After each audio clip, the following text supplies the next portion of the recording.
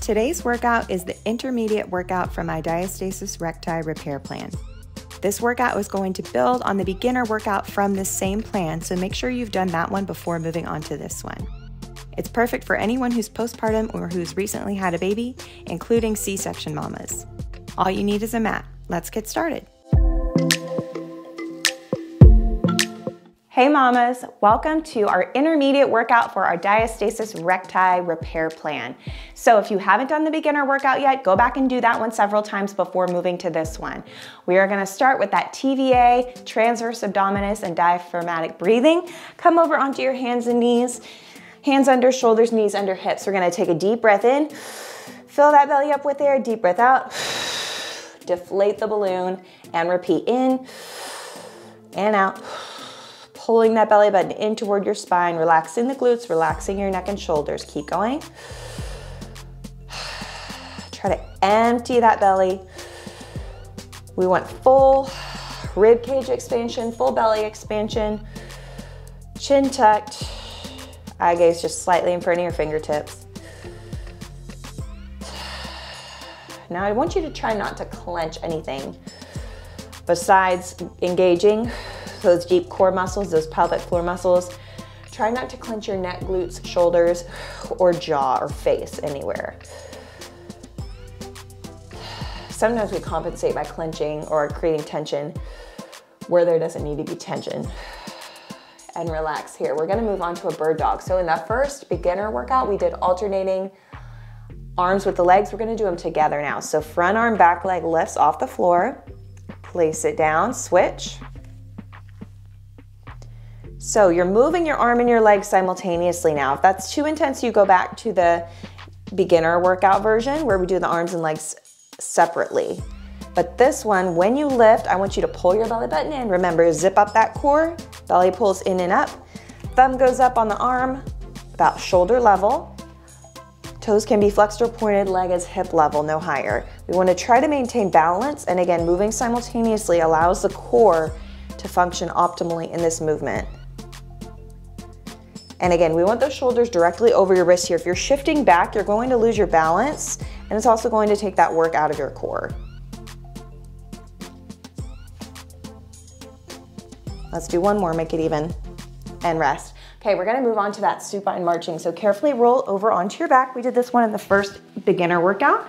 Belly button pulled in, low back toward the floor. We're gonna lift the front leg up, lightly tap the toe down. Back leg goes up and tap. So knee over hip, light tap on the toe. When you lower the foot, I want you to think, don't make any noise. That's gonna allow you to put that pressure in your core, control the movement so you're not just falling down.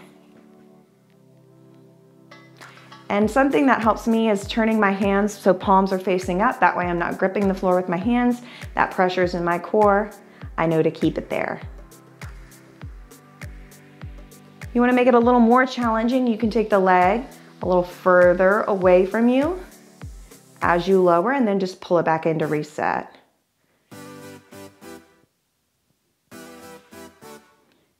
Nice and tight through the core, last one. And rest. Okay, we're gonna move on to a reverse march now. So just like we did in the previous workout, knees come over hips, low back presses toward the floor. Again, knees directly over hips, lower front leg down and lift. Back leg goes down. Nice and quiet on those toe taps. Shins parallel to ceiling, palms up.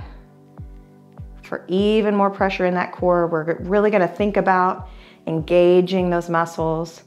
And when we engage the deep core, we're working things from the inside out. So like I said in the previous workout, the deep core muscles, are transverse abdominis and pelvic floor are all connected.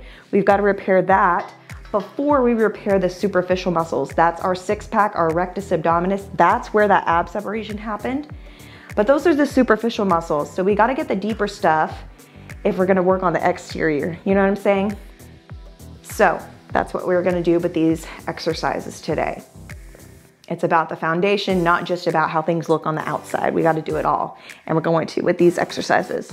Okay, we're gonna do bent leg hip circles. So taking the knees back over your hips, we're gonna take them down, around, and up. Down, around, and up. About the size of a bicycle wheel Feet come down first, legs are together here, then slowly separate them, make a little circle, bring them back over your hips. And again, we don't wanna rest here. We wanna keep those knees over the hips and allow that core pressure to stay on. Now you're gonna feel it in your thighs a little bit too. That is normal. Tight quads plus you're using your quads to control this movement. If it's too intense, take a break and be sure to stretch afterwards. That'll help with that tension or foam roll, doing some myofascial release before and after will also help with that leg burn you feel. Might even hear some hip cracking here, some hip popping. I don't know if you can hear that. It'll probably get cut out, but rest here, but they're, they're popping. Okay, we're gonna move on to a glute bridge with abduction. So just like we took those legs out and away, we're gonna do that in a bridge. So lift the hips up, knees go out, in and down. Take them up, out, just a couple inches out and in, driving out of your heels, you can lift your toes. You can see I'm doing that here. You don't have to have your toes glued to the mat, especially when you do that abduction. You're gonna find your feet naturally move a bit and that is totally fine. Just make sure you're not totally rolling onto the outside edges of your feet. You wanna keep your heels down. And that's gonna control that abduction as well. Outer hip muscles get tight and weak during pregnancy and postpartum. So that's why we do a lot of these abductions. And that just means taking your legs away from your body. And the glutes are the biggest muscle in our core. So if we want to repair things from the inside out, we have to put a big focus on our glutes. And rest here. Okay, we're gonna move to a glute bridge. This time we're gonna walk the feet out and in, alternating the foot we lead with. So hips are gonna stay up. We're gonna go front leg, back leg, front leg, back leg. Switch leading legs. And we keep walking out, out, in, in, trying to keep the hips as still as possible. Be conservative with how far out you walk because we wanna maintain that height, that range of motion for the bridge.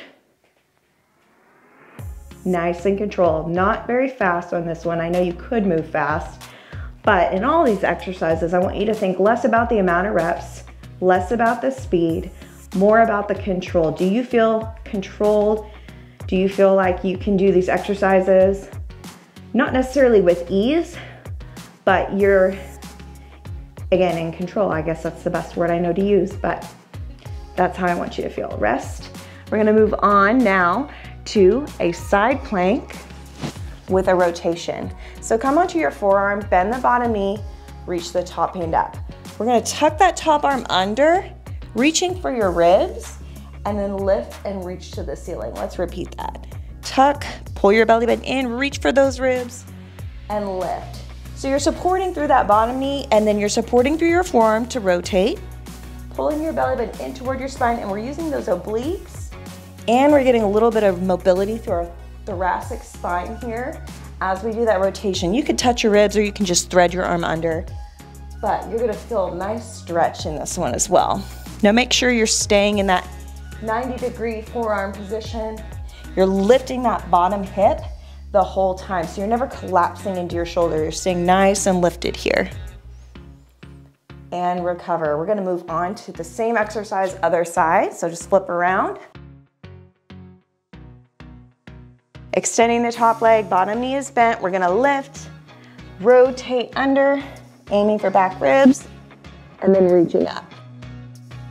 Now you might find one side is tighter, you can't rotate as much. That's this side for me.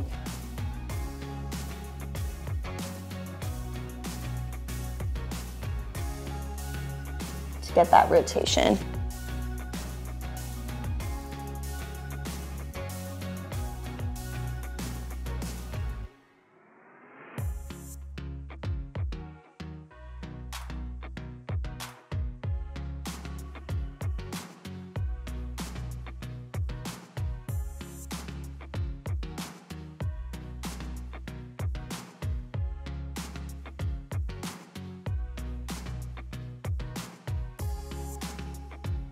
Okay, we're moving on to our backs again. We're going to go to a reverse crunch, extending the legs and then lowering them down. So both legs come up, knees over hips, straighten the legs and then lower them about 45 degrees or as far as you can without your low back lifting. So bend, straighten, and then slowly lower down. Let's keep going. Bend, extend, lower. Now, your back is gonna really want to lift as you lower those legs. Press it down, pull that belly in, tight, tight, tight, nice and controlled to the bottom. This one is really important to move slowly. And if it's too intense, you can lower, bend the legs again, and then lower down. But if you want more, you can take those legs a little bit lower. But again, respect where your body's at right now. Don't push it too far, relax. Okay, we have made it through our second of the three workouts. So that was our intermediate workout. Again, like the beginner workout, be sure to do this one until you feel really controlled, competent, and not comfortable, but you can do the exercises with a sense of confidence before you move to our advanced workout because this next one is going to be quite a bit more challenging. So I will see you back here for our next workout together. Be sure to do a few of my other postpartum workouts in conjunction with this one, especially a stretch and a foam rolling workout to help with that tightness in the legs that is so common postpartum. So I will see you here next time for our advanced workout together.